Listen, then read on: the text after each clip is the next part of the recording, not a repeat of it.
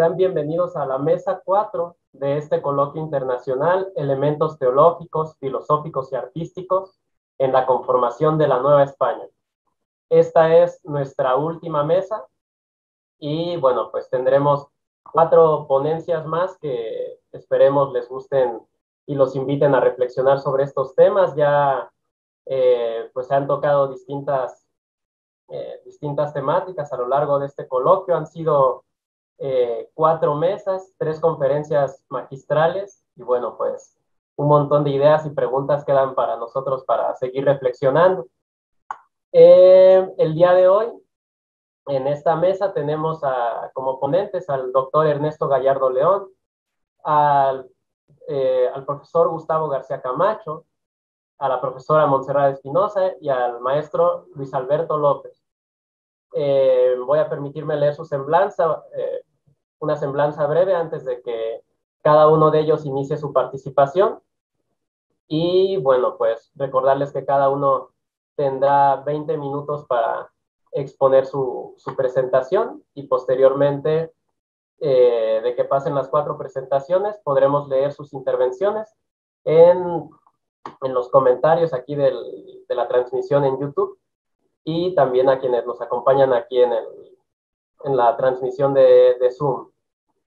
Sin más, eh, vamos a comenzar con el, profesor Ernesto Gallardo León, quien, bueno, leo brevemente una semblanza. Estudió la licenciatura en filosofía en la Universidad Autónoma Metropolitana, en la Unidad de Iztapalapa. Hizo la maestría y el doctorado en filosofía en, la UNAM, aquí. Es profesor de esta misma casa de estudios en la Facultad de Filosofía y Letras y también es miembro de la Asociación Filosófica de México y de la Asociación de Hispanismo Filosófico. Y bueno, también pues un gran amigo mío. Sin más, eh, Ernesto, pues te, cedo la palabra. Muchas gracias, amigo Luis. Pues qué, qué gusto. Y bueno, ahora ya no me toca preguntar, sino que me toca hablar.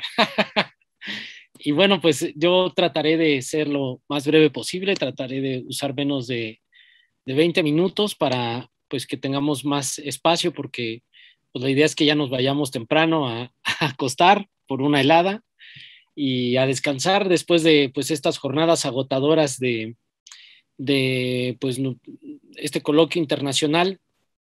Y el tema que preparé para hoy es un tema que mm, comencé a estudiar por un estudiante de licenciatura, un estudiante mío, Andrés Salvador, que eh, pues hizo su tesis sobre la comparación, comparó a, San Agustín con Fray Alonso de la Veracruz en el concepto de tiempo.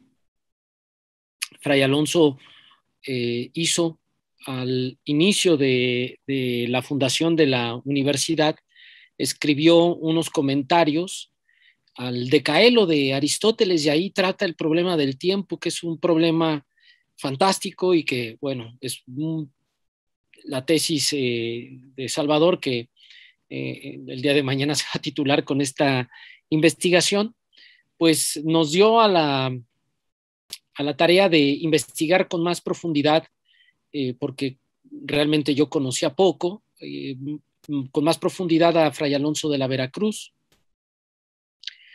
y pues con el ejercicio, de hecho esto que les voy a presentar en realidad es un trabajo conjunto entre Salvador y yo sobre cómo se puede tratar desde otra perspectiva diferente eh, la defensa que hizo Fray Alonso de la Veracruz de los indígenas. Es conocido, de hecho, el el doctor Ambrosio Velasco, que estuvo ayer, bueno, otra vez se, refirió a Fray Alonso, em, igual que la doctora Virginia Aspe, em, dos eh, mexicanos admirables que han dedicado un tiempo de su investigación y de su saber a escribir sobre Fray Alonso de la Veracruz, em, pues tienen una perspectiva, incluso la misma doctora, la doctora Carmen Rovira, a quien se le hace eh, el homenaje en este, en este coloquio internacional, han estudiado sobre todo la relación que hay entre Fray Alonso y, bueno, la Escuela de Salamanca, eh, la relación que hay con la vida política. Y trabajando para el proyecto de maestría, empezamos a darnos cuenta, por supuesto, leyendo las fuentes, leyendo artículos, investigando sobre, sobre Fray Alonso, pues que hay un, un aspecto que no se había tratado del todo con Fray Alonso de la Veracruz que tiene que ver con su perspectiva religiosa y la relación que hay de esta perspectiva religiosa con la defensa política de los indígenas. Casi todo lo que se ha estudiado de Fray Alonso tiene que ver primordialmente con el asunto de, de la defensa política, de la relación con Salamanca, pero se ha escrito muy poco, si no es que nada, sobre las razones, pensando en la filosofía de la religión, en las razones religiosas que tiene el fraile, porque es un fraile, es un hombre religioso, es un hombre que ha hecho una formación religiosa, que pertenece a una comunidad religiosa,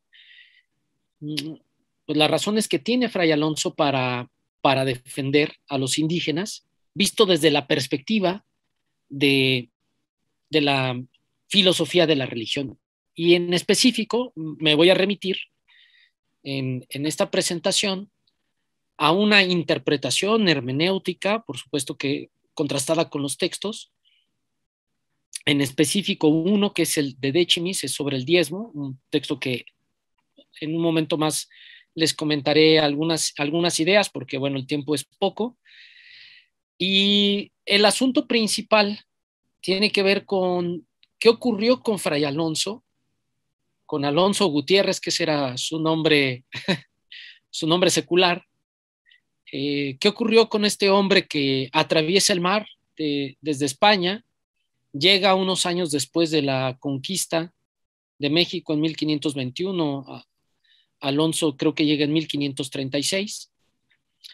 Eh, y lo que encuentra, bueno, representa para él una transformación interior. De hecho, este es el concepto, la categoría con la que trabajaré en esta, en esta breve charla, que es el de metanoia, es el de, el de conversión. ¿Qué ocurrió con este personaje y cómo esta conversión religiosa está, por supuesto, en el contexto histórico y además le ayuda a Fray Alonso a preguntarse, sobre todo como hombre religioso, como hombre de fe, como hombre creyente, cuál es su misión en cuanto al problema de la evangelización. Pero bueno, eh, de eso va a tratar esta breve charla que en unos pocos minutos tratará de enfocar algunos elementos generales, explicarles en líneas generales este asunto de la evangelización, en líneas muy generales también este asunto de la conversión, y cómo en el de Dechimis, una de las cosas que va a hacer Fray Alonso eh, con relación al asunto de la, de, que los indígenas tengan que pagar el diezmo después de haber sido bautizados, algo a lo que se refirió en su conferencia magistral el doctor Ambrosio el día de ayer, pues tiene que ver con eh, cómo comprende el asunto del Evangelio, qué, qué significa para este hombre religioso que ha tenido que cruzar el mar, llegar a una tierra inhóspita, eh, en una situación conflictiva, con todas las crónicas que he escuchado, con toda la influencia que ha tenido exterior, llegar y testimoniar lo que está ocurriendo y preguntarse qué significa esto de evangelización. Eh, pues nada más diré algunas cosas. Eh, probablemente el personaje sea, conocido para todos, pero para no darlo por hecho, pues diré algunas líneas generales. Alonso nació en Caspueñas en el año 1509. De hecho, fue bastante longevo, recorrió casi todo el siglo XVI y por supuesto conoció a todos los personajes notables, los más notables que llegaron a, México, ¿no? A, Vasco de Quiroga. Ayer platicábamos con Ambrosio que conoció también a Fray Bartolomé, no en México, a Fray Bartolomé lo conoce en España. Y bueno, también en España conoce a personajes notables. Es, de hecho, adjunto de, ayudante em, de Fray Francisco de Vitoria, em, conoce a Domingo de Soto, es, su alumno en la Universidad de Salamanca y es de donde eh, es ahí donde abreva toda esta experiencia, es donde escucha las crónicas, es donde entiende el fenómeno de la, de la conquista americana y de la colonización americana. Y Alonso, Alonso Gutiérrez en ese momento todavía no es fraile. En realidad, él hace la formación eh, diocesana. Él, es diocesano, es un, es un sacerdote secular, es un sacerdote que pertenece a la diócesis. Y en algún momento, el superior de la Orden de San Agustín, que había venido a América y le había propuesto, eh, el papado le había propuesto traer sacerdotes españoles a América para iniciar con el proceso de, evangelización después de la, conquista de México. Llega a la Universidad de Salamanca y empieza a hacer promoción para llevarse a sacerdotes al, a llevarse sacerdotes al nuevo mundo. Y de hecho habla con Alonso, se entrevista con Alonso Gutiérrez, que en ese momento todavía no es Fray Alonso de la Veracruz, lo invita, le, eh, Alonso ya ha escuchado eh, las famosas reelecciones de, de Vitoria, tiene mucha información al respecto, y en ese momento Alonso imagínense la situación, él tenía, eh, si se hubiese quedado en Salamanca, una prominente carrera académica, era un hombre que ya empezaba a ser conocido por su inteligencia, por su talento, imagínense, ayudante de una de las mentes más brillantes de Salamanca, que es Vittorio, uno de los hombres más reconocidos, incluso por la corona, un hombre con relaciones eh, públicas en la corte, relaciones públicas en la iglesia, y decide, toma la decisión después de entrevistarse con el superior de la orden agustina, de abandonar todo para venir a América al proyecto de evangelización.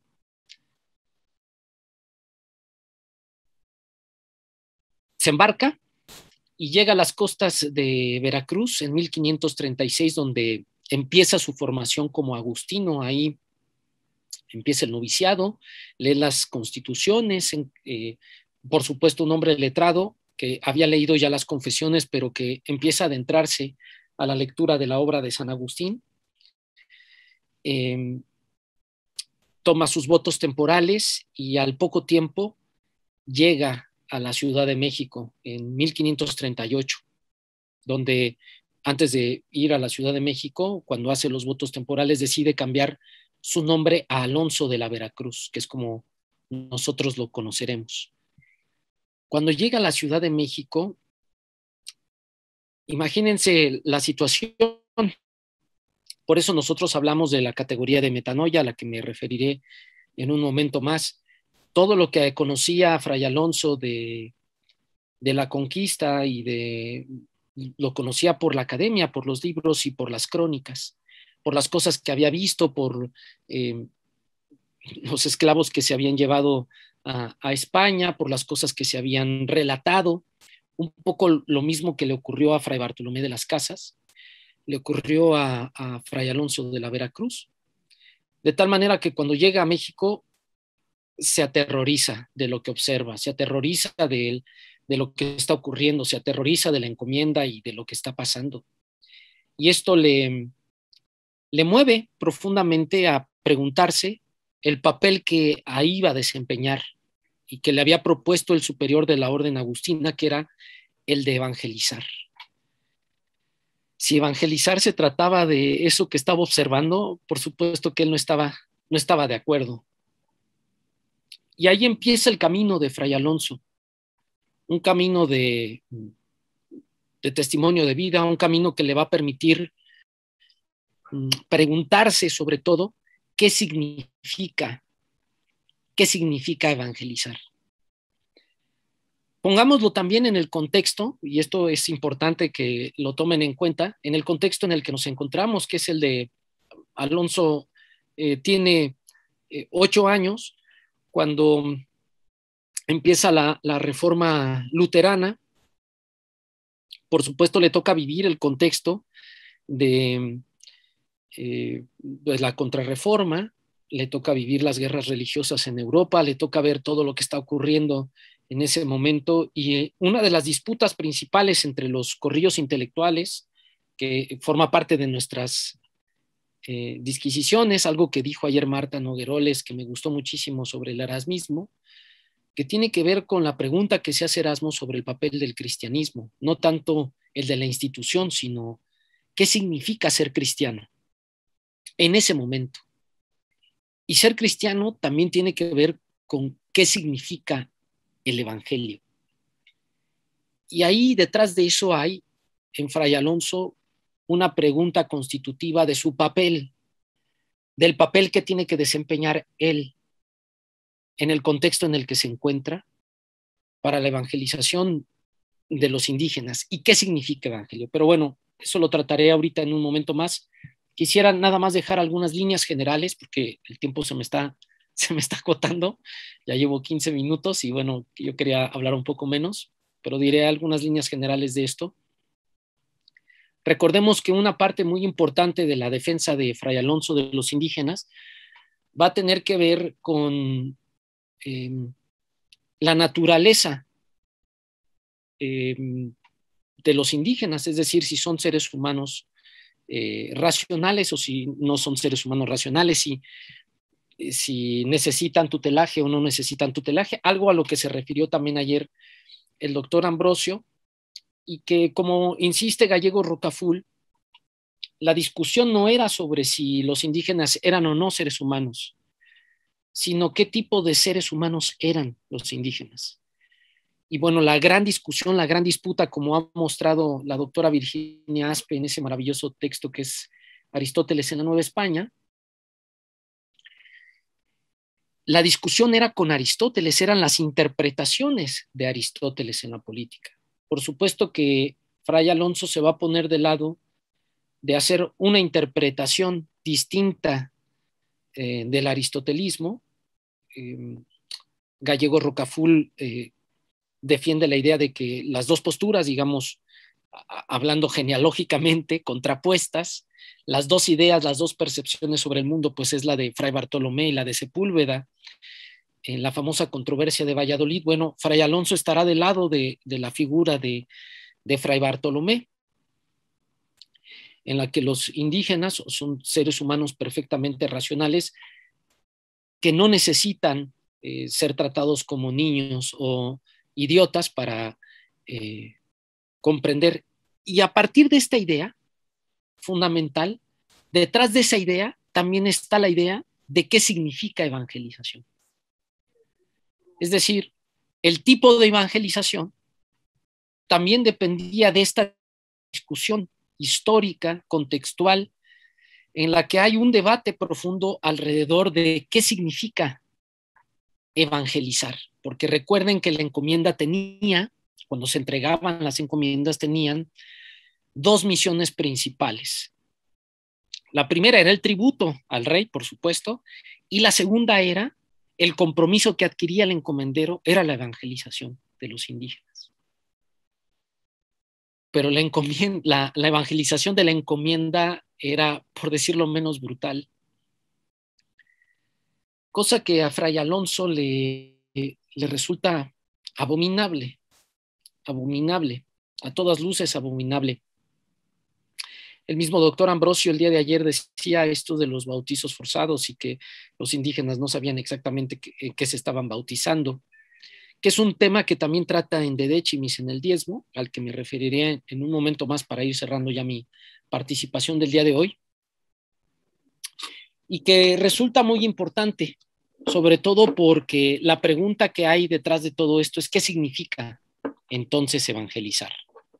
No solo es bautizar, es cumplir la misión del Evangelio. No nada más es Evangelio en el sentido de testimonio de la vida de Jesús, sino lo que el testimonio de la vida de Jesús representa, que en el contexto en el que nos encontramos, pues es el de la lucha contra la injusticia, es el de la reforma de la vida cristiana, volviendo a las viejas comunidades cristianas. En el texto que les comento en Endedechemis, una de las cosas que va a defender más fuertemente Fray Alonso de la Veracruz es que es imposible bautizar a un indígena que no sabe exactamente qué significa el bautizo ni qué significa el evangelio y después de bautizarlo, cobrarle el diezmo. A todas luces eso va en contra del espíritu del Evangelio que defiende fundamentalmente la justicia. Y esto es un poco lo que hemos estado investigando y bueno, voy a cerrar mi participación del día de hoy con estas tres conclusiones que, bueno, pueden servirles y si quieren y tenemos tiempo podremos platicar sobre ellas un poco más. La primera es que la discusión sobre la naturaleza de los indígenas también implicó en un sentido fuerte qué tipo de evangelización se iba a llevar a cabo. En ese sentido, Fray Alonso vivió una conversión, una pregunta fundamental que todos los hombres religiosos se hacen. ¿Qué significa evangelizar? ¿Qué significa la buena nueva? No como testimonio de la vida de Jesús, no como biografía de la vida de Jesús, sino qué significa para mí en el contexto en el que me encuentro, en la realidad en la que me encuentro, para luchar contra la injusticia. Por eso es que el de Dechimis es un testimonio de esta conversión. Que ese es el, apartado hermenéutico que hemos estado construyendo Salvador y yo. La defensa del cobro injusto del diezmo representa en todo sentido un argumento teológico y filosófico sobre el sentido del Evangelio sobre qué significa la construcción de la comunidad cristiana y qué significa el Evangelio como justicia, como realización del reino de Dios en este mundo. Pues eso sería todo por mi parte. Muchas gracias por haberme escuchado y bueno, pues al rato podremos platicar. Muchas gracias a todos. Muchas gracias, Ernesto. Eh, pues muy interesante tus comentarios, tu, explicación breve, concisa directa, ¿no? Lo que va muy bien. Eh, recordarles a quienes nos estén viendo en, por el canal de YouTube que pueden ir dejando sus comentarios allí en, en, la caja, las preguntas, y entonces, pues al final les daremos lectura para que las comenten los, los ponentes.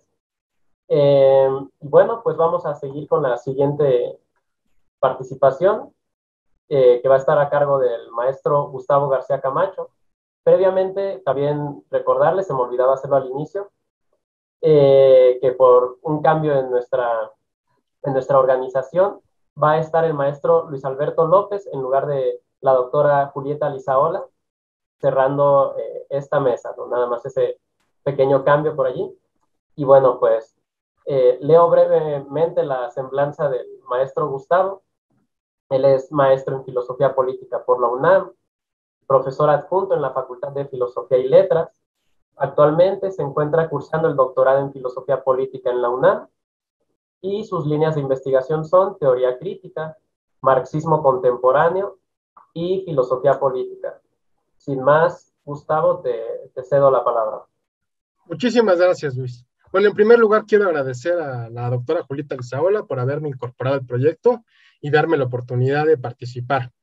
Este, este texto que les voy a leer este, forma parte de las inquietudes que tengo actualmente en mi línea de investigación, que he querido como integrar en un mismo modelo explicativo este, la perspectiva Foucaultiana con la marxista, ¿no? Tratar como de, de explicar cómo se articulan los procesos de explotación material con las formas de castigo y con, las, con los mecanismos de control.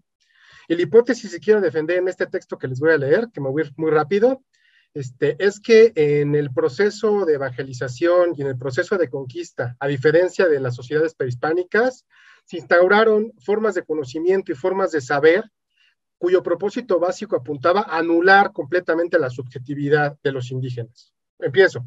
Desacumulación originaria y explotación indígena.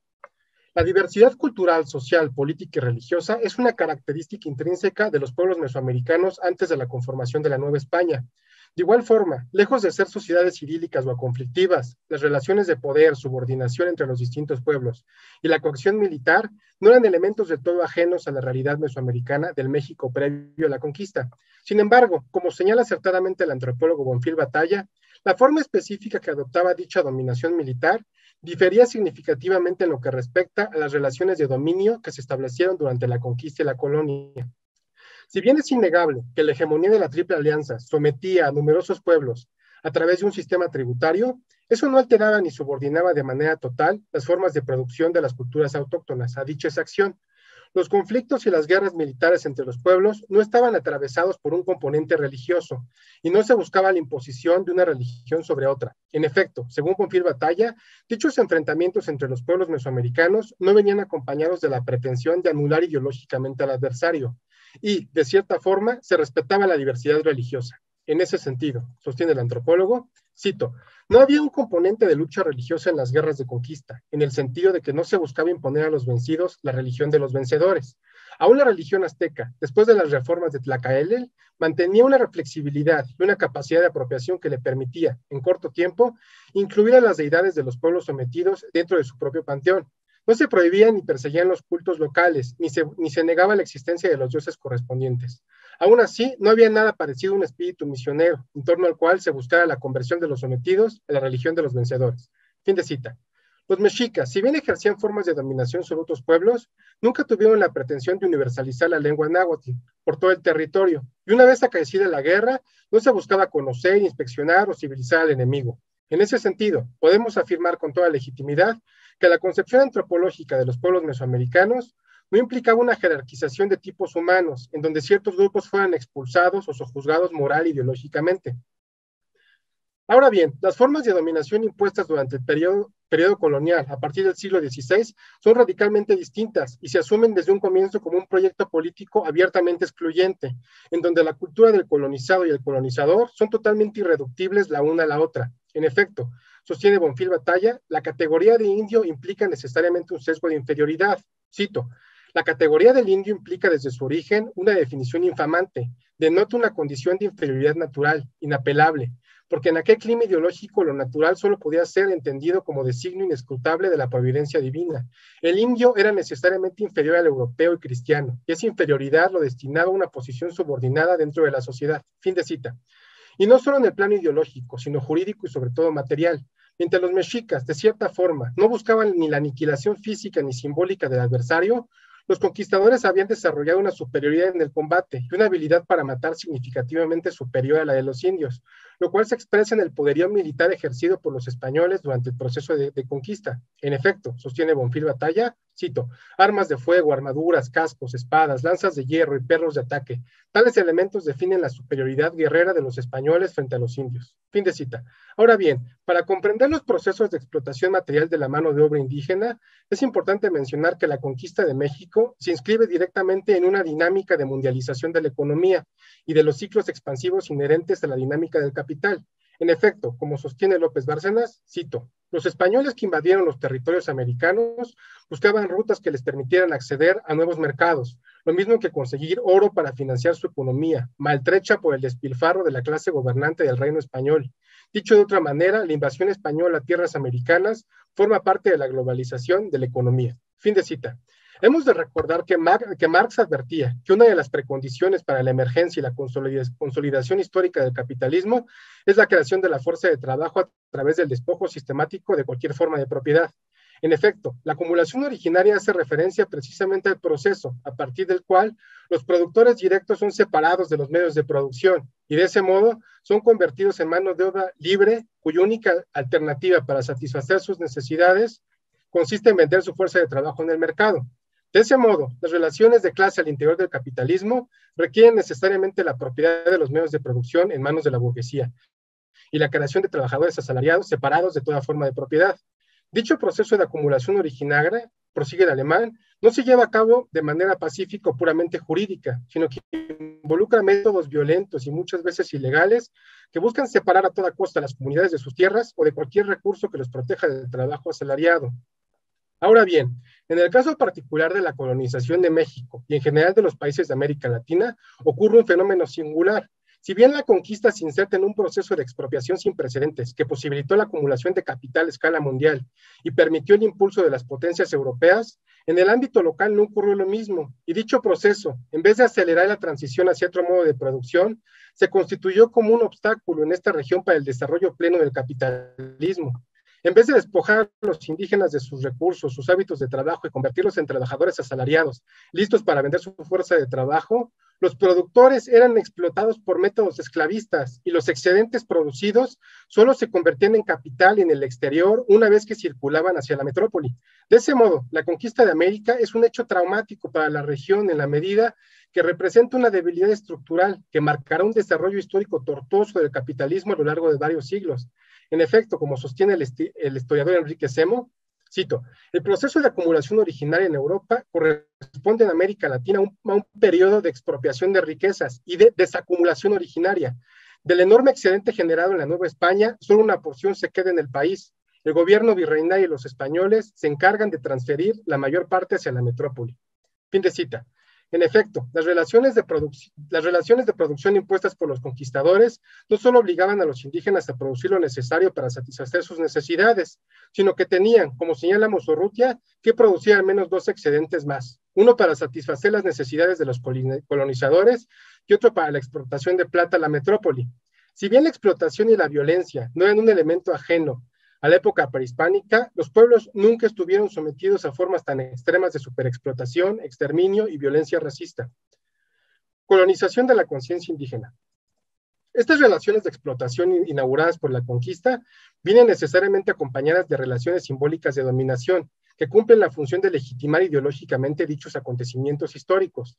De ese modo, el proceso de conquista se desarrolla conjuntamente con el, con el proyecto de cristianización del Nuevo Mundo, en la medida que este último sirve como la legitimación espiritual, moral y cultural de la masacre de los antiguos mexicanos. Como señala el filósofo Rubén Dri, en este contexto resultaba necesario e imprescindible que los conquistadores encontraran una justificación ideológica de la empresa de la conquista y las relaciones de fuerza se transformaran en relaciones de sentido. Los actos más violentos, crueles, ignominiosos se presentaban como un ejercicio noble y necesario ante la conciencia. El conquistador se veía a sí mismo ante todo, no como un conquistador, sino como un evangelizador. En efecto, el proyecto de evangelización no solo posibilitó legitimar ideológicamente los actos de los conquistadores a través de la instauración de ciertas relaciones de sentido, sino que hizo posible moderar las conductas y gobernar las almas de los propios indígenas a través de todo un conjunto de técnicas específicamente religiosas que fueron movilizadas por los franciscanos en el Nuevo Mundo al momento de intentar colonizar la conciencia indígena, es decir, eso que los historiadores han denominado la conquista espiritual.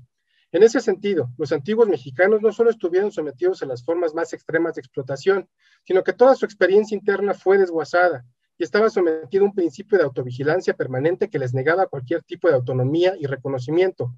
Veamos el caso particular de Sagún la objetivación del indio y la extirpación de las idolatrías a partir de Óscar Martiarena.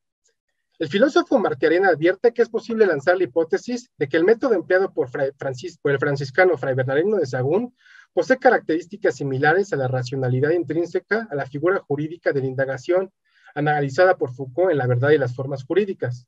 La figura jurídica de la indagación es, en términos generales, una técnica religiosa que hunde de lleno sus raíces en la Alta Edad Media y que, después de secularizarse, se incorporó de lleno como una herramienta administrativa de investigación al interior de los estados nacionales.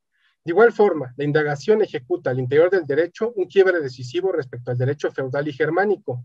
La posibilidad de transferir a la actualidad actos del pasado, incorporarlos como prueba en la producción de la verdad jurídica e interpelar moralmente a los individuos, en efecto, es un lugar común señalar que la empresa del franciscano prefigura los métodos etnográficos de la antropología moderna, en la medida de que existe un interés por conocer con rigor las costumbres de la cultura azteca.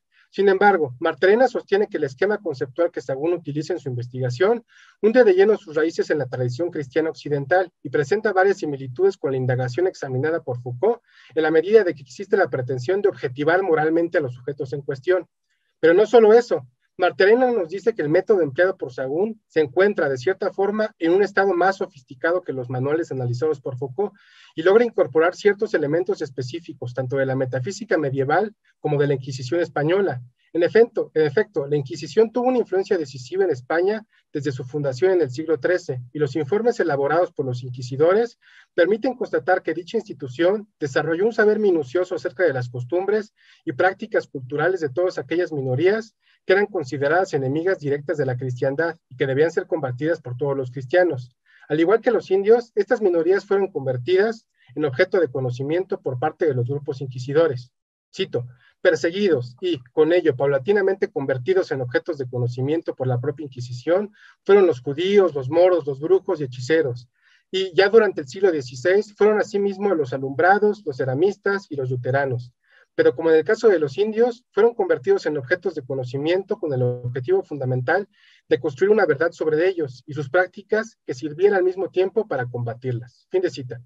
Con estos dos elementos como marco de referencia, la obra de Fray Bernardino de Sagún, plasmada en su monumental Historia General de las Cosas de la Nueva España, se erige como el documento más exhaustivo y acabado acerca de las costumbres de la, antigua cultura azteca, el cual condensa su saber minucioso y riguroso acerca de las costumbres, divinidades, comercio, medicina, concepción del cuerpo y la lengua de la antigua cultura náhuatl.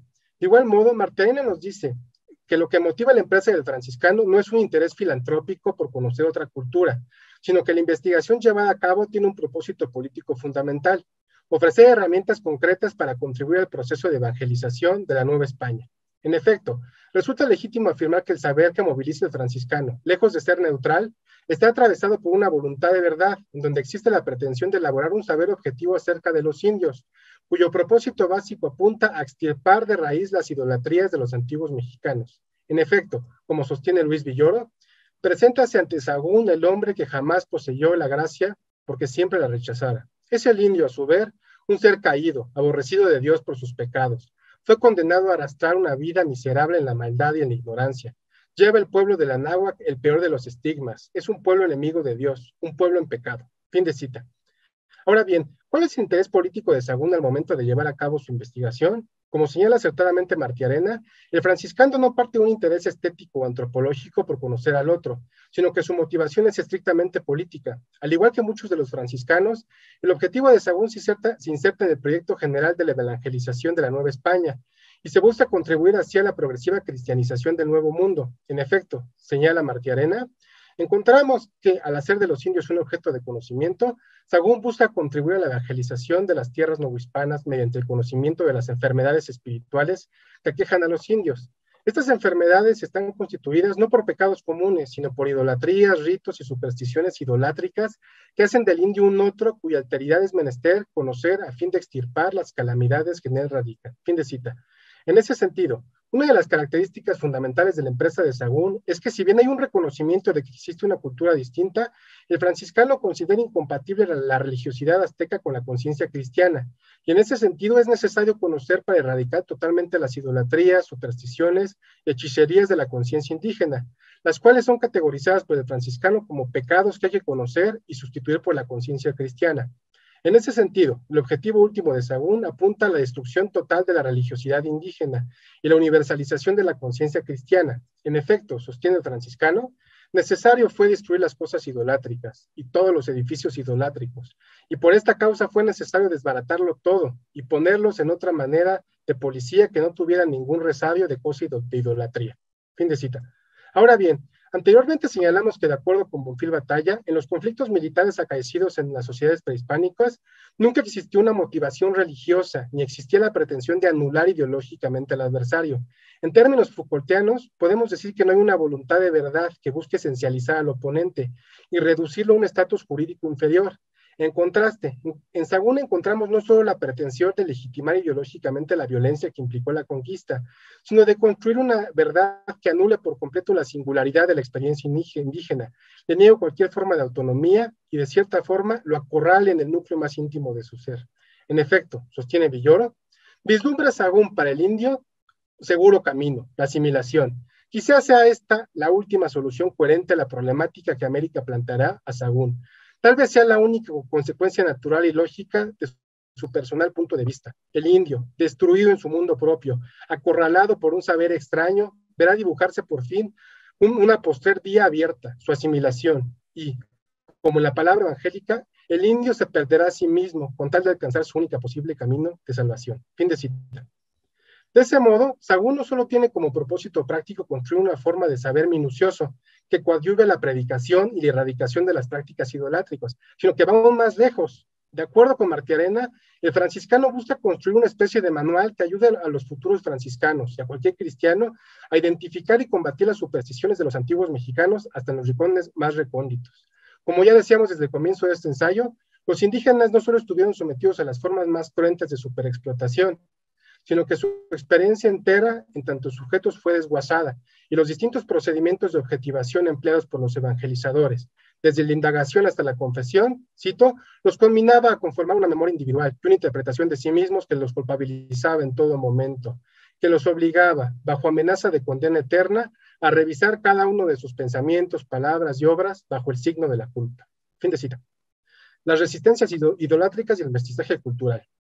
Una de las cuestiones que es importante enfatizar es que la empresa de evangelización del Nuevo Mundo no fue un proceso homogéneo y monolítico, sino que experimentó diversas formas de resistencia, tanto por parte de los indígenas que se negaban rotundamente a renunciar a sus idolatrías, como por parte de las propias misiones evangelizadoras. En efecto, sostiene Martí Arena, Cito, específicamente en relación con las prácticas consideradas como idolátricas por los ministros de la Iglesia y por lo que se desprende de los textos revisados, parecer hacer que los indios se resistieron a adoptar la práctica de la confesión sacramental, en primer lugar mediante la perseverancia en sus costumbres y en segundo, negándose a culpabilizarse por ellas y en consecuencia a confesarlas. Fin de cita. En efecto, el filósofo ecuatoriano Bolívar Echeverría ha puesto de manifiesto las tensiones y la complejidad inherentes a estos procesos y ha señalado que, lejos de estar subsumidos bajo una lógica monolítica y homogénea, encontramos estrategias de reconstitución y reconfiguración de dos códigos culturales radicalmente diferenciados, si bien la dominación y la destrucción es innegable, también presenciamos durante el siglo XVI, cito, la puesta en práctica de ciertas utopías renacentistas que intentan construir sociedades híbridas o sincréticas, convertir así el sangriento encuentro entre los dos mundos en una oportunidad de salvación recíproca de un mundo por el otro. Fin de cita.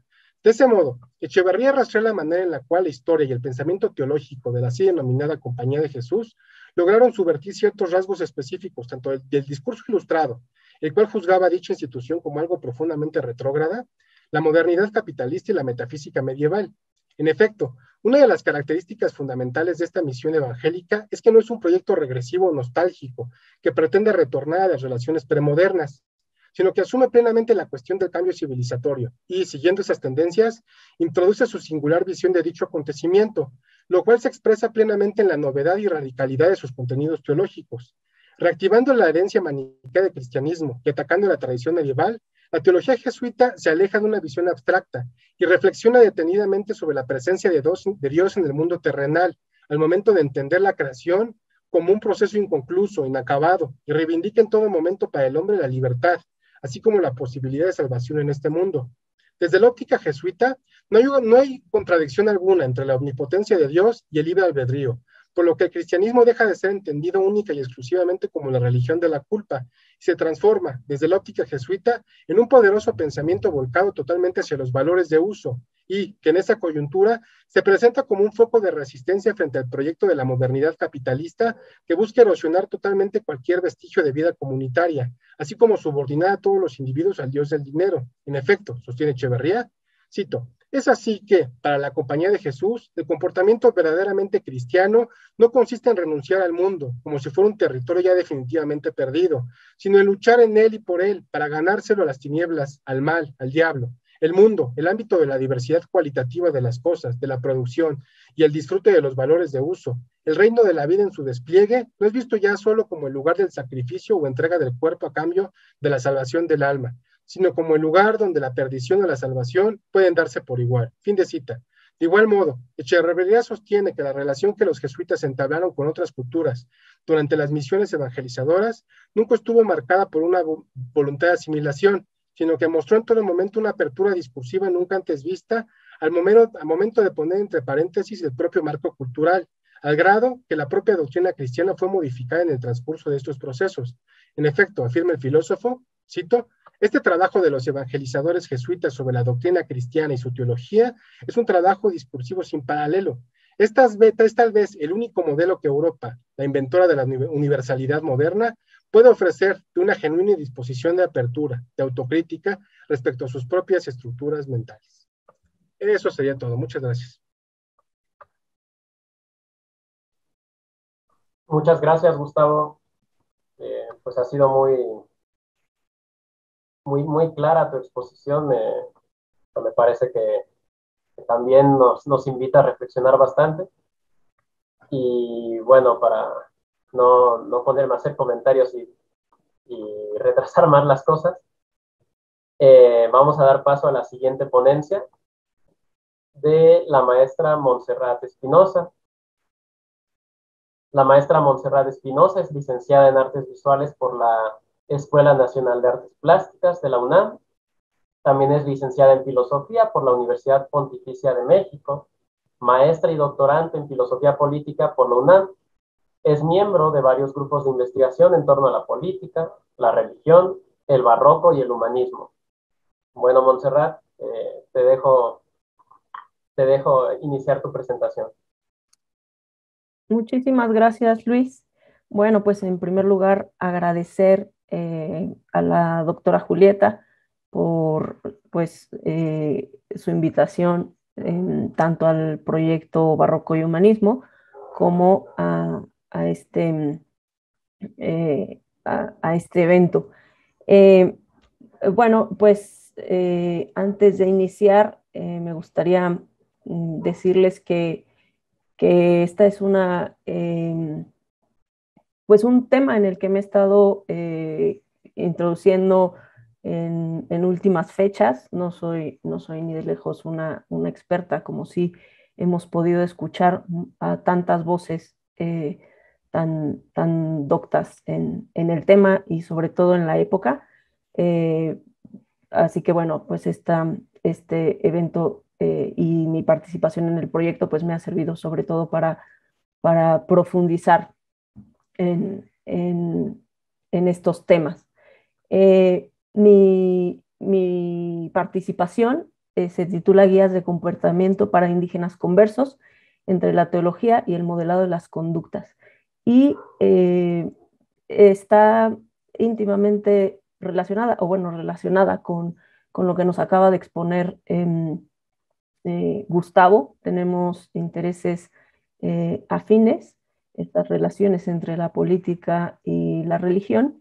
Y, bueno, también agradecerle a él precisamente eh, pues que me ha compartido ciertos textos, introducido a ciertos em, autores que, me ayudaron a, mm, Em, a, terminar esta participación.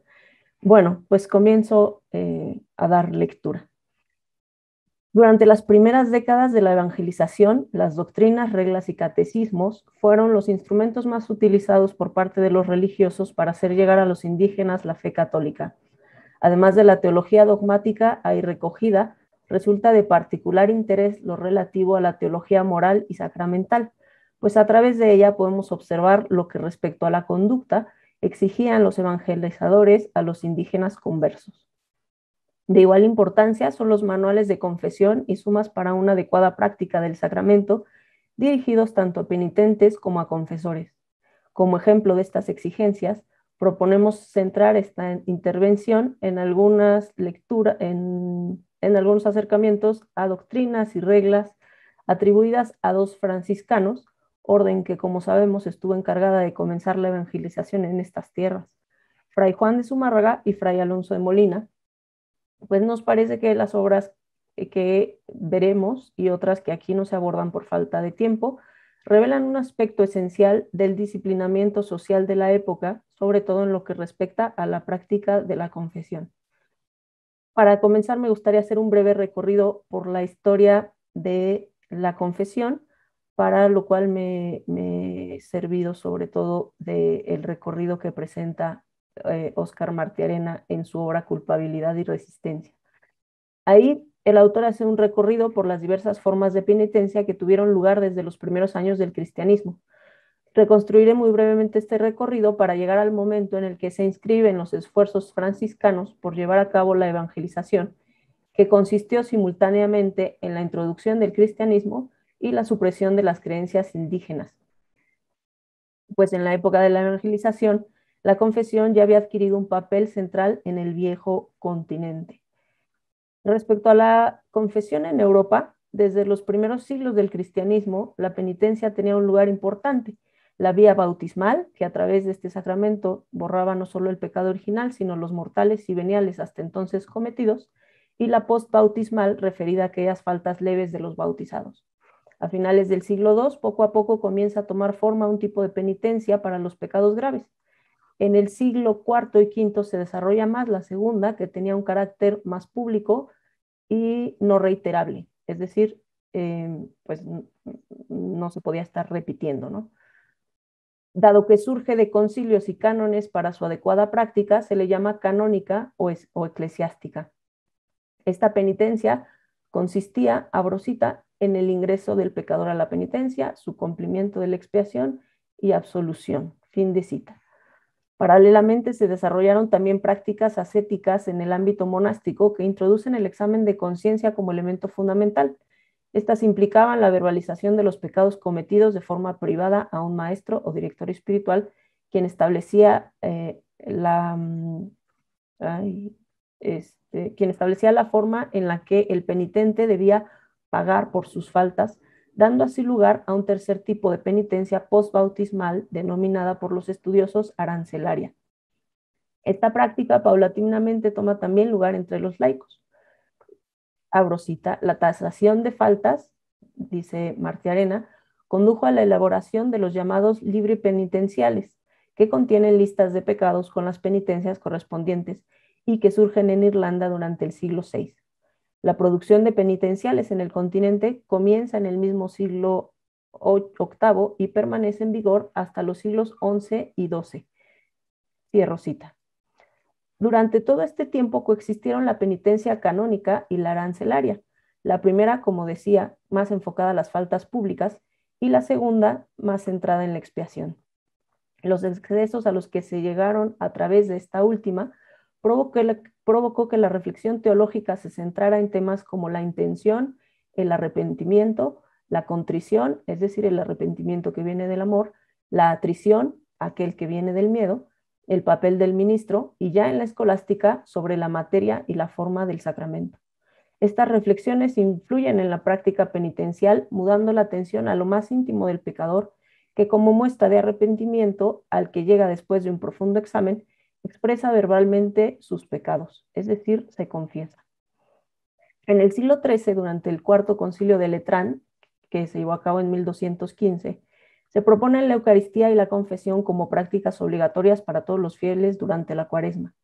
Respecto a la segunda, se desarrolla a partir de ahí multiplicidad de textos acerca del pecado y este sacramento que perdonaba los pecados después del bautismo. Estos últimos eh, textos acerca de la confesión toman forma de manuales dirigidos tanto a confesores para ayudarlos a dirigir el examen de conciencia como hacia penitentes para su adoctrinamiento, pues se recorren los diez mandamientos, los mandamientos de la iglesia, los pecados capitales, los cinco sentidos, el credo, etc. También se elaboran sumas que son, nos dice Marti Arena, tratados de moral jurídica cuyo objetivo es proporcionar a los curas de almas los elementos necesarios para formular un juicio preciso sobre los actos de los pecadores y con ello prescribir las penas y remedios más convenientes para su enmienda, fin de cita. Paulatinamente fueron haciéndose más rigoristas y convirtiéndose en sumas de casuística. En el siglo XIV y preparando el camino de lo que propondría más tarde Lutero y Calvino, Dunsescoto y Ockham cuestionarían la necesidad de la confesión auricular frente al sacerdote y centrarían su atención en el arrepentimiento personal y el propósito de no volver a pecar.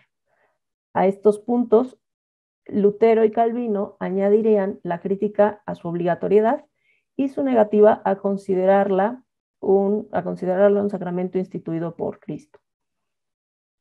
El concilio de Trento de 1545 a 1563, respondería insistiendo en estos puntos, en su necesidad, en su reiterabilidad y recuperaría la fundamentación tomista de la materia y la forma del sacramento.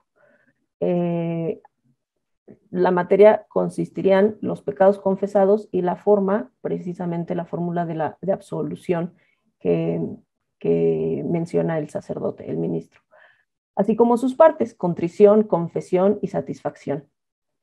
Esto alimentó la ya de por sí amplia literatura sobre el pecado y la confesión. Solamente en España se imprimieron más de mil ediciones de manuales, el 70% entre 1550 y 1640.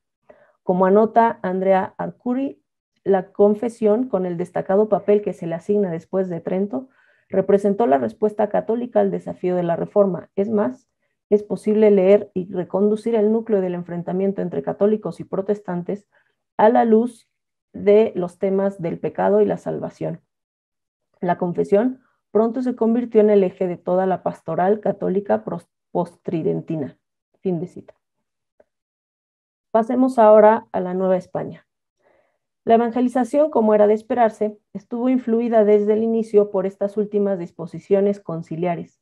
Por ello, aunque lo primero y más urgente era bautizar a los indígenas, la introducción de la confesión tuvo lugar, según Motolinía en su Historia de los Indios de la Nueva España y Jerónimo de Mendieta en Historia Eclesiástica Indiana, en Texcoco ya en 1526. La confesión se convirtió, como veremos, en una herramienta importante para continuar con el adoctrinamiento indígena, a la par que las doctrinas que comenzaron a publicarse. Bajo las reglas de Juan de Zumárraga.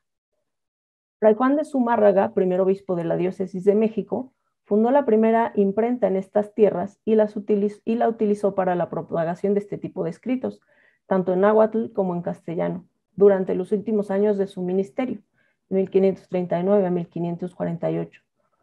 Por ejemplo, la breve y más compendiosa doctrina cristiana en lengua mexicana y castellana que contiene las cosas más necesarias de nuestra fe católica para aprovechamiento de estos indios naturales y salvación de sus ánimas, de 1539, que es además el primer libro impreso en, México. El suplemento de la doctrina más cierta y verdadera de 1546 o la regla cristiana breve de 1547. Algunas de las doctrinas impresas por mandato del obispo franciscano son reproducción o adaptación de obras previas traídas del viejo mundo. Tal es el caso de Tripartito del Cristianísimo y Consolatorio de Doctrina Cristiana, a cualquiera muy provechosa, de Juan Gersón, publicado originalmente en Toledo en 1526 y en México en 1544. O la Suma de Doctrina Cristiana de Constantino Ponte de la Fuente, Ponce de la Fuente, publicada en Sevilla en 1543 y en México en 1546, impresa bajo el título de Doctrina Cristiana más cierta y verdadera para gente sin erudición y letras. Otras son directamente atribuidas a Zumárraga, aunque se trate en parte de compilaciones, como la doctrina breve muy provechosa de las cosas que pertenecen a la fe católica y a nuestra cristiandad, del 43-44, y la regla cristiana breve ya mencionada. Estas dos obras son de gran importancia, pues por una parte nos pintan al obispo novohispano de intelecto entero y por otra por contener manuales ascéticos que describen las prácticas que han de seguirse para ejercitarse en el perfeccionamiento cristiano, nos permiten observar el modelamiento de las conciencias novohispanas. Un lugar especial guarda el apartado dedicado a la confesión, que supuso un antecedente directo a los manuales y sumas de confesión que a partir de la segunda mitad del siglo XVI se imprimieron y popularizaron en la Nueva España. Respecto a Fray Juan de Zumárraga y precisamente a través del análisis de sus textos, recogemos las palabras de Ignacio Saranyana. Abrosita. En estas dos obras, Zumárraga se nos muestra como un experto conocedor de la tradición humanística antigua, con referencias a Cicerón, a Séneca, se manifiesta familiarizado con la patrística tardo-antigua, y con los escolásticos medievales como Tomás de Aquino, Buenaventura de Bañorea, Alberto Magno, Juan Dunce Escoto y Dionisio Cartujano. Se revela dependiente de Juan Gersón, de Erasmo de Rotterdam, a quien corrige frecuentemente al citarlo, etc. Su, su moderación frente a ascéticas demasiado rigoristas, su benevolencia respecto a la naturaleza material y al cuerpo humano, su particular viveza al describir los principales pasos de la pasión de Cristo, su serenidad ante la muerte y la contradicción, y su fresco y precioso castellano le consagran como una de las personalidades más destacadas de la época y no solo de Hispanoamérica. Fin de cita.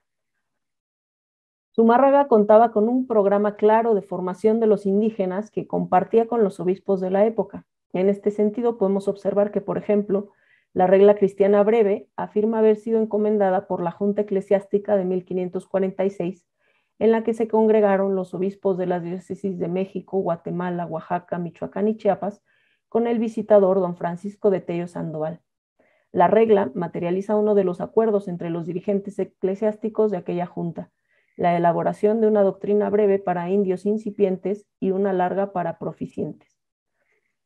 Aunque no existe consenso entre los estudiosos respecto a cuáles fueron esas dos doctrinas, puesto que varias publicaciones de la época mencionan la encomienda episcopal en sus respectivos colofones, como las ya mencionadas doctrina cristiana breve más cierta y provechosa, como el suplemento o las doctrinas de los frailes Pedro de Córdoba y Alonso de Molina, de quien hablaré a continuación, todas sirvieron a dichos fines, y en todas figura Fray Juan de Zumárraga como autor, editor o revisor, además de expedir la licencia de publicación en su papel de obispo.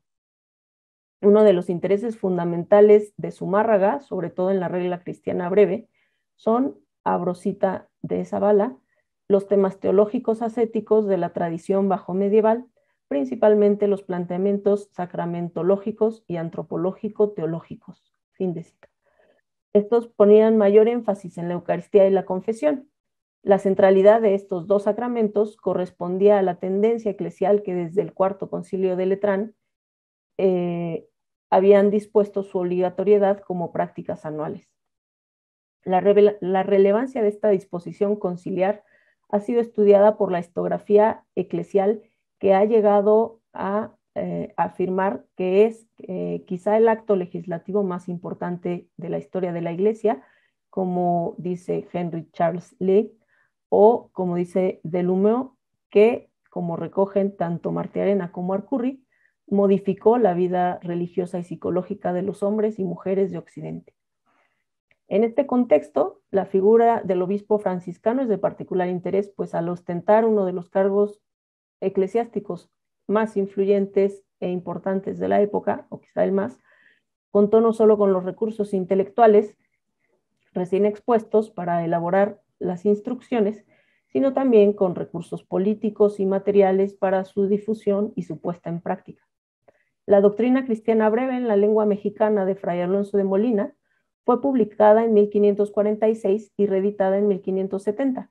Se trataba de la primera escrita en náhuatl y castellano eh, y abro cita de Martí Arena. La finalidad de la publicación aparece desde los primeros párrafos. Enseñar las cosas necesarias de aprender y saber y de poner por obra a los cristianos para se salvar y para que sepan responder cuando en alguna parte les fuere preguntado algo acerca de la cristiandad. Eh, bueno, obviamente es Martí Arena citando a Molina. Asimismo, señala Molina se buscará que la doctrina llegue a todas partes y sea traducida a todas las lenguas indígenas. La doctrina comienza enseñando las oraciones básicas que debían ser aprendidas por los naturales para enlistar luego, sin demasiada explicación, lo que debe saberse para una buena confesión. Abro la cita. Los artículos de fe, los diez mandamientos, los mandamientos de la iglesia y los sacramentos, el significado y diferencia entre pecado venial y pecado mortal, cuáles son los pecados mortales y las virtudes, que se le contraponen, las virtudes teologales y cardenales, las obras de misericordia, los dones del Espíritu Santo, los cinco sentidos corporales, las potencias de nuestra alma, memoria, entendimiento y voluntad, los enemigos del alma, las dotes del cuerpo glorificado, las obligaciones del que es bautizado y las obligaciones de los padrinos. Fin de cita. La confesión era, por tanto, una oportunidad para examinar el grado de adoctrinamiento que tenía el penitente. A partir de la segunda mitad del siglo XVI, se imprimieron los primeros manuales de confesión encaminados a dar pautas para su práctica con los indígenas. En 1555 se lleva a cabo el primer concilio provincial presidido por Alonso de Montúfar.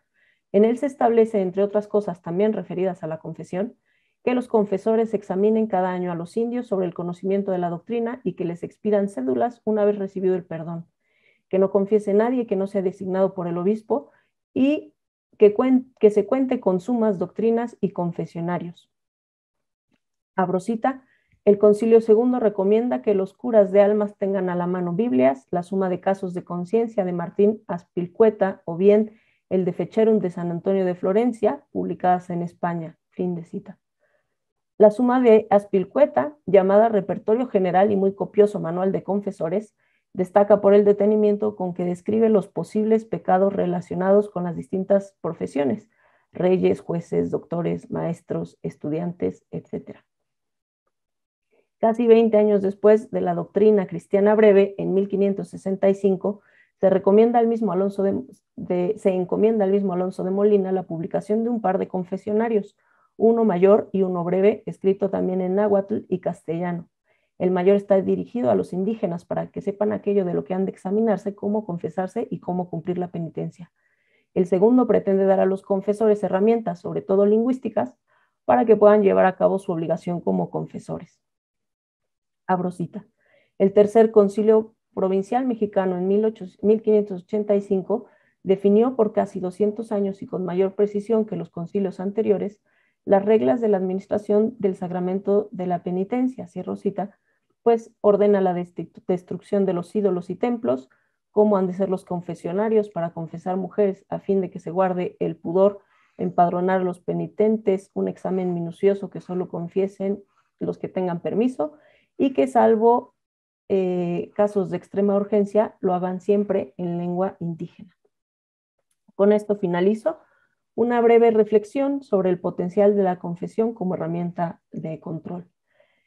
Respecto a la confesión en el viejo continente, pero que por lo ya expuesto se puede aplicar a la confesión en nuestras tierras, retomando a Adriano Prosperi, Arcuri refiere que la confesión llevó a cabo un doble movimiento, ascendente y descendente. Abrosita, por una parte, la iglesia recibía y acumulaba gran cantidad de información sobre los penitentes y por otra les dictaba órdenes y normas conductuales. Fin de cita. Asimismo, la necesidad de contar con una cédula que atestiguara el perdón recibido, el empadronamiento de los penitentes, su fecha de confesión y condición, cosa que se llevó a cabo en la Nueva España, hizo de la confesión un acto socialmente necesario. Como hemos intentado mostrar brevemente, el contenido de doctrinas, reglas, catecismos, así como manuales y sumas utilizados en la Nueva España, nos permiten observar la influencia real que se tenía sobre las conductas de los indígenas el examen de los, diez mandamientos, las preguntas respecto a la profesión o la ocupación, permitían abarcar todos los ámbitos de la vida, incluido el familiar, el social. El, de los el examen de los cinco sentidos eh, permitían eh, adentrarse en la propia vida del sujeto. No se trata de obras teológicas sin, sin más, sino que están claramente, a mi parecer, vinculadas a la intención eclesial por recuperar el control que poco a poco se había ido perdiendo en el Antiguo Testamento, en el, en el antiguo continente después de la Reforma. En este sentido, los cristianos conversos del nuevo continente supusieron una nueva oportunidad para despertar de ese mal sueño. Muchas gracias.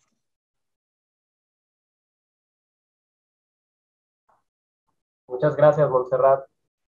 Eh, pues del mismo modo que las demás participaciones ha sido muy sugerente, temas que pues, nos invitan a, pues, abrir preguntas, provocaciones, etcétera, muy, muy interesante. Bueno, para finalizar con, con esta mesa y después dar paso a las preguntas, a las distintas dudas, intervenciones, recordarles que también pues, pueden participar por los comentarios en, dentro del video de, de YouTube. Y bueno, este, Pasamos a la siguiente exposición del maestro Luis Alberto López.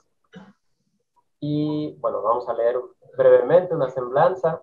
Él es profesor de filosofía en la Facultad de Filosofía y Letras de la UNAM. También es miembro de la Asociación Filosófica de México y de la Sociedad de Estudios Kierkegaardianos. Las áreas de estudio del maestro son la filosofía de la religión, la ética y la historia de la filosofía. Te cedo la palabra, Luis. Muchas gracias, muchas gracias Luis Tocayo. Este, bueno, pues yo, yo comienzo pues dando las gracias a, Julieta porque me cedió su lugar hoy, me, me, salvó ayer de un conflicto que tuve y también pues doy gracias a todos los ponentes, a mis colegas, a mis compañeros, a mis maestros, pues por todas las excelentes ponencias que han eh, ofrecido en estos dos días creo, eh, sin lugar a dudas, pues que nos llevamos un, rompecabezas muy amplio para armar todo esto que sería, pues, qué implica la conformación de la Nueva España, ¿no? En, el sentido de los elementos, pues, humanistas, ¿no? Barrocos que hay. Bueno, mi ponencia eh, se las voy a compartir. Debía haber empezado por eso, ¿verdad? Pero se, las comparto. Es una aproximación, la primera aproximación que hice, que he hecho al pensamiento de Juan Luis Vives, eh, un poco inspirado por el trabajo de José Luis Mora, del doctor José Luis Mora, que siempre nos decía, pues pónganse a estudiar a Luis Vives, y dije, bueno, sí, lo haré. Entonces, eh, bueno, mi ponencia se llama El humanismo de los pobres. Comienza con una reflexión breve sobre Max Weber. Y Max Weber nos dice, bueno, a grandes rasgos, que, que, los católicos em, contribuyen o se insertan de manera menos fuerte en la economía capitalista que los protestantes. Y de ahí da él una explicación, dice, se debe a la formación los, eh, los hijos de católicos forman a sus hijos en el humanismo clásico y los hijos de protestantes forman a sus hijos en, escuelas técnicas y de este, ingeniería, ¿no? De ahí esa diferencia, eh, bueno, eh, de la formación y en los intereses y en los valores de, los, capital, de los protestantes y de los católicos, ¿no? Y, de ahí me, pues me surge una pregunta, ¿no? Que haya una menor participación de los católicos en la vida capitalista nos sugiere dos preguntas. ¿Qué entendemos por educación humanista o por el humanismo y en qué consiste el modo peculiar de relacionarse del humanismo con la modernidad y el capitalismo? Eso, pues, esa, la respuesta a esta pregunta nos lleva a tres elementos, que es, bueno, tratar de desarrollar qué es, qué es el humanismo, y aquí abordo eh, la figura de Erasmo de Rotterdam, y después, eh, qué es el humanismo de Juan Luis Vives, y cuál es su, propuesta, que a la que yo llamo humanismo de los pobres, y en última instancia, qué es lo que será, lo que propondrá, ¿no? Para, para enfrentar el tema de la pobreza, que es un tema que hemos venido trabajando todos, yo, yo veo que es un tema que está constantemente, que es el tema de la evangelización, ¿no? ¿Cuál es el significado de la, evangelización? Ya lo dijo Ernesto, eh, pero creo que en estas cuatro últimas mesas que hemos tenido, eh, una y otra vez salta la importancia de la evangelización y de entenderla correctamente, ¿no? Bueno, yo quisiera contribuir ahí, ¿no? Bueno, empecemos con lo, de, con lo del humanismo. ¿Qué es el humanismo? Bueno, pues Joaquín Shirao caracteriza el humanismo de Erasmo de Rotterdam y el humanismo en general como el cultivo de las artes, las bellas letras y las ciencias, particularmente las griegas y las latinas, con el objeto de llegar a la felicidad y al perfeccionamiento del hombre. Joseph Pérez nos ofrece una caracterización del humanismo. Piensa él que los humanistas se caracterizan porque pretenden dedicarse a las letras humanas o letras de humanidad. En latín, humaniores literae. Al decir letras, el humanismo se refiere a un tipo de conocimiento que supone la lectura asidua de libros. Se cree que el saber está contenido en los libros y se transmite por los libros. El científico es ante todo un lector, el que lee mucho y bien, hombre leído, como se decía en castellano.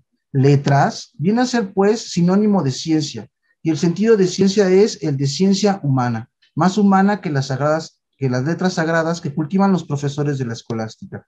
El humanismo proclama así la emancipación de la ciencia como valor autónomo distinto de la religión, aunque no forzosamente opuesto a ella.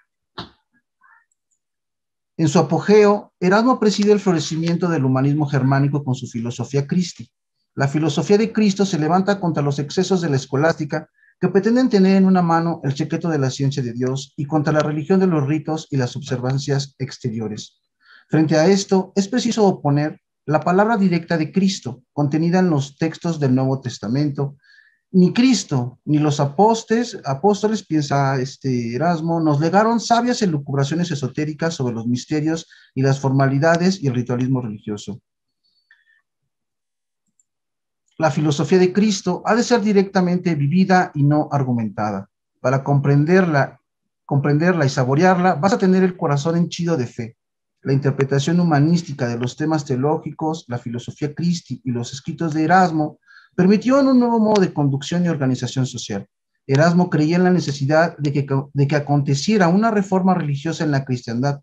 No obstante, nunca estuvo de acuerdo con la separación que significó el protestantismo, pero el humanismo de Erasmo sí quiso fortalecer el músculo de la religión, a saber, la fe y el corazón. Luis Vives, educado en aquella atmósfera, al entrar en contacto directo con la filosofía Christi, halló en ella la más fuerte repercusión en su persona y se entregó a ella con fervor. Vives entró en contacto personal con Erasmo y trabó con él una amistad entrañable. Lo alabó y lo defendió contra los ataques de sus adversarios, Lo estimó como singular, con singular veneración y llegó a llamarlo como Dante a Virgilio, su señor, su maestro y su padre. La idea del príncipe cristiano de Erasmo coincidía con el ideal mesiánico que se fraguaba en España.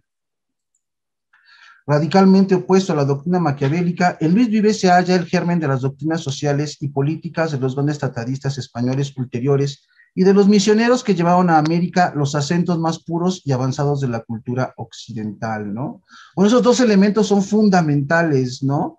Eh, estas ideas, ¿no? Que se llevaron, o sea, entre el cruzado y el que iba a evangelizar, ¿no? O sea, y es, es, ahí donde está la discusión, ¿no?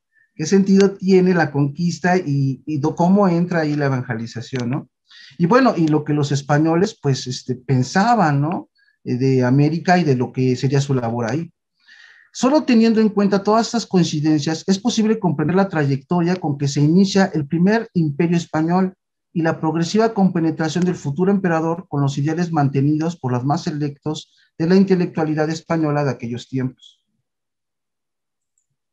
Frente a Erasmo y al humanismo aristocrático que cifra su ambición más alta en la perfección formal y en la, y en la emulación de los modelos clásicos, el pensamiento de Luis Vives representa un humanismo para el cual el ideal supremo no se queda ni puede hallarse en el cultivo de las letras clásicas, ni en la persecución de la gloria o de la fama, sino en la elevación y la dignificación de todos los hombres, cualquiera que sea su condición.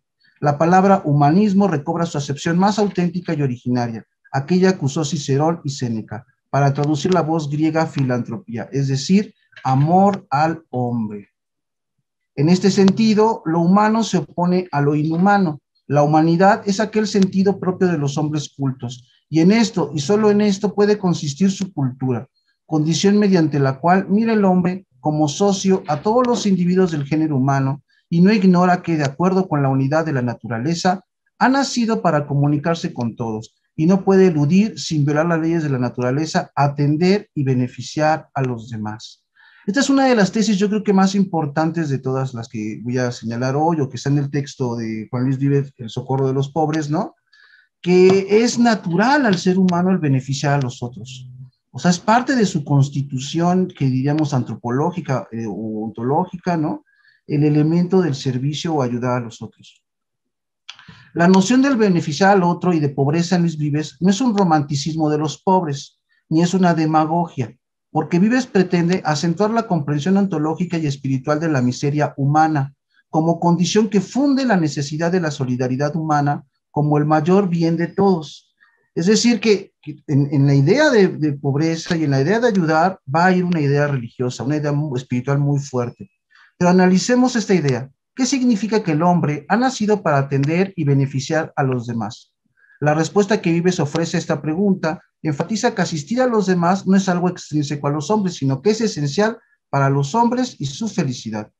El argumento que demuestra la importancia de la asistencia al prójimo comienza con el mito de Adán en la Biblia. A partir de este texto, Vives nos habla de ciertas características que posee el ser humano previo a su caída. Comienza pues con una exaltación de la dignidad del hombre en el momento de su creación, para momentos después señalar el estado de caída por el pecado y el orden de las necesidades que surgen como consecuencia de su degradación. El hombre de la desnudez y la inocencia, él mismo hizo todo para su ruina. Se entorpeció el entendimiento y se oscureció la razón. Los apetitos, pasiones y todo tipo de perturbaciones aparecieron como una tempestad que movía el mar con la violencia del viento. Soberbia, envidia, odio, crueldad y muchas otras. Se perdió la fidelidad, el amor se resfrió, todos los vicios se hicieron presentes. El cuerpo se llenó de miseria al mismo tiempo, enfermedades y muertes, y las maldiciones de la frase, maldita será la tierra en tu trabajo, se extendieron a todas las cosas en que había de ejercitarse la diligencia de los hombres.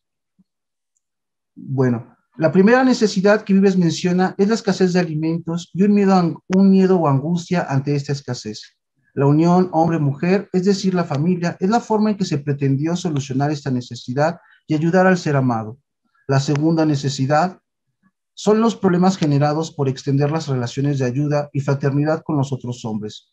Esta sociedad, que va más allá de la familia y de origen fraterno, padece estragos por la soberbia, la pereza, la opresión y el deseo de ser venerados que tienen sus miembros. A estas miserias se suma el problema del dinero y del cuerpo miserable y enfermo del hombre. Según Luis Vives, el hombre pagó con grandes miserias su usurpación de la divinidad y llegó a ser el más flaco y el que menos vale de todos los animales por sí mismo. Toda la vida del hombre y su salud dependen de los auxilios de los de otros. No hay motivo para la soberbia, que a fin de cuentas se heredó de los primeros padres de la humanidad, o que viene de Dios y sus juicios ocultos, o porque hace falta el dinero, o la salud y la inteligencia, o porque se hizo mal uso de ellas. Entonces vean aquí señalar los posibles orígenes del sufrimiento y uno de ellos que me, voy, a, voy, a, señalar es que viene de Dios, ¿no? O sea, la miseria, ¿no? Es, es, por eso también tiene un sentido religioso la miseria, ¿no? Porque viene de Dios. Eh, definición de pobreza. Sin embargo, nos debe quedar abierta la posibilidad de que la misma pobreza puede ser instrumento de grandes virtudes porque Dios todo lo refiere a nuestro provecho. Entonces, vean esta idea de, invertir, ¿no? O sea, la pobreza no es necesariamente algo malo, ¿no? Sino que está dada para nuestro provecho, por Dios, ¿no? Concluyamos, pues, que todo aquel que necesita de la ayuda de otro es pobre y menesteroso de misericordia, que en griego se llama limosna, la cual no consiste solo en distribuir dinero como el vulgo cree, sino en cualquier obra por cuyo medio se socorre la miseria humana, ¿no? Entonces, cualquiera que necesite de ayuda es pobre. Para Luis Vives, la condición cualitativa peculiar del ser humano en el estado de caída es la de ser un sujeto condicionado que depende del auxilio de otros. La experiencia con lo sagrado se objetiviza en la misericordia como mediación con lo otro. Es en el ámbito de esta necesidad y mediación en la miseria contra la realidad social o el mundo, o la estructura histórica en donde va a operar la transvaloración del sentido que tenga el sufrimiento y la necesidad o pobreza, pues, ¿no? El cambio de sentido implica el humor cristiano que hará de la necesidad o pobreza instrumento de grandes virtudes, una inversión del sentido en la que la miseria lleva a la gracia religiosa, ¿no? Estaba releyendo ahorita un poco para recordar bien, y, por ejemplo, Luis Vives dice incluso que, que, si, que si somos pobres tenemos que agradecer a Dios, tenemos que estar alegres porque nos ha puesto esa prueba, ¿no? Entonces ahí está el, cambio, el giro, el humor, ¿no?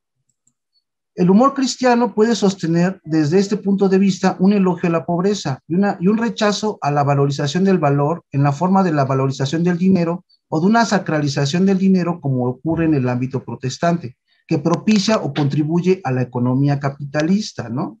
aquí ya está el contraste, ¿no? Para el protestante, pues va a ser importante la producción de dinero, la valorización del valor, ¿no? Eh, la sacralización de lo mundano, y en cambio acá en este horizonte va a ser lo opuesto, ¿no? Es decir, está bien, o sea, eh, la pobreza significa que el mundo te ha abandonado, ¿no? Entonces está bien, ¿no? Que, el mundo te haya abandonado para que te puedas dedicar a la iluminación eh, transmundana, ¿no? Eh, definimos pobre como todo aquel que necesita de la ayuda de otro, es decir, todos los seres vivos, animales, el hombre, y de ahí se deduce que todos necesitamos de misericordia o limosna. La limosna no es dinero, sino los medios que socorren la miseria humana. Piensan muchos que ni se da ni se recibe por beneficio otra cosa que dinero, o que no hay más beneficio que el dinero. De aquí viene aquella vulgaridad de ¿qué provechó, qué ayudó si nada dio? o mucho aprovechó porque dio, o a lo menos extiende la razón de beneficio a las cosas por cuyo medio se alcanza el dinero, como si alguno enseñó un oficio ganancioso o dio un consejo lucrativo. En esto pecan mucho, que, cuando dan un consejo fijan toda su atención en el dinero y se olvidan del bien de la razón y la virtud. O sea, aquí está el señalamiento de el dinero no, no, no va por ahí, ¿no? El principal beneficio, el mayor el mayor bien de todos es coadyuvar uno a la virtud de otro. Por esto deben a Dios mucho más que todos los que todos los otros, no las personas a quienes tocó la nobleza, la hermosura, las riquezas, el ingenio o la reputación, ¿no? A ver, entonces, ¿quiénes son los que más benefició a Dios, no?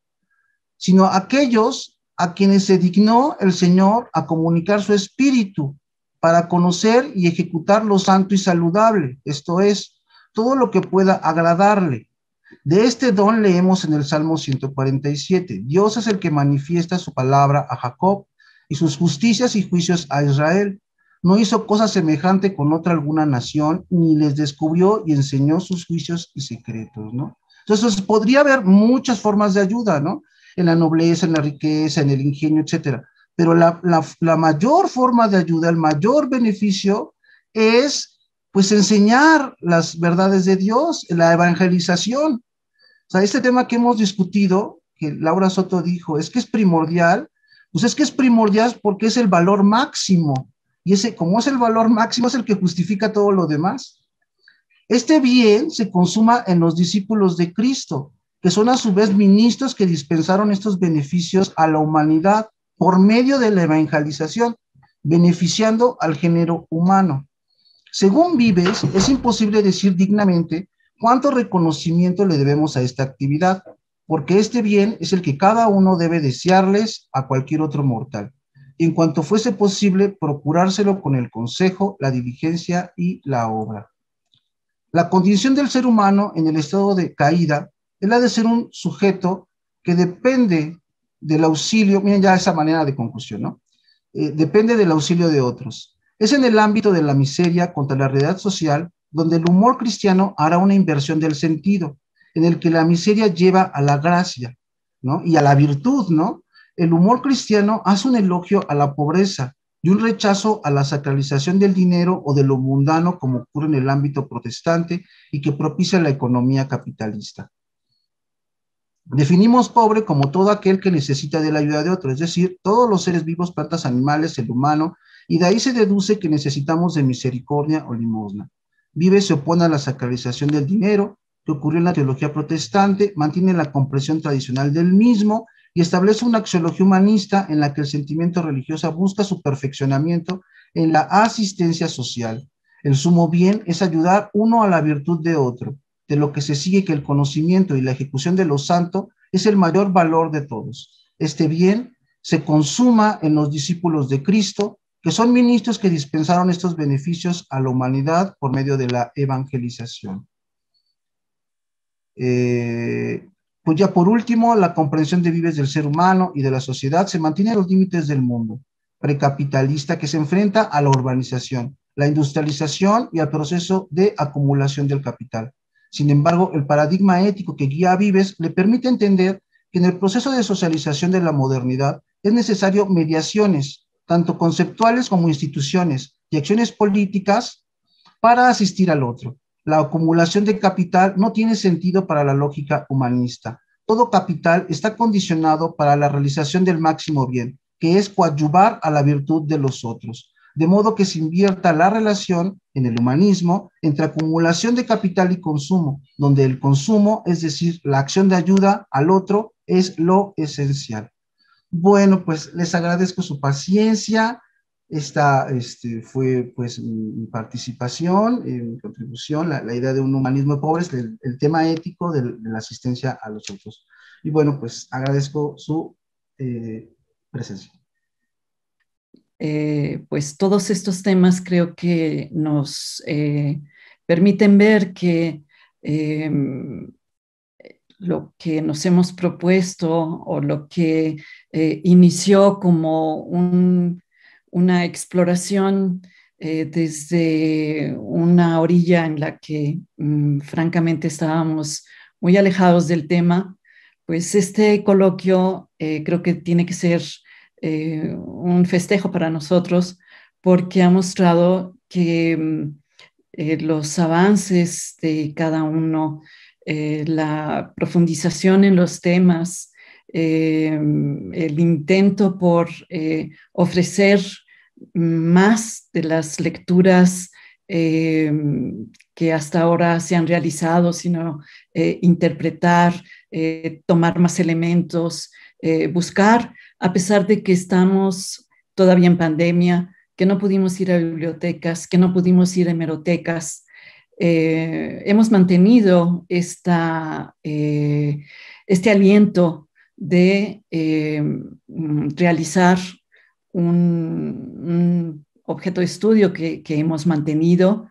Y eso, para concluir, concluir nuestro coloquio, eh, quiero señalarlo y eh, agradecerlo, agradecer a cada uno de ustedes su, su, trabajo, su dedicación Y bueno, pues dar unas gracias muy sinceras y casi infinitas.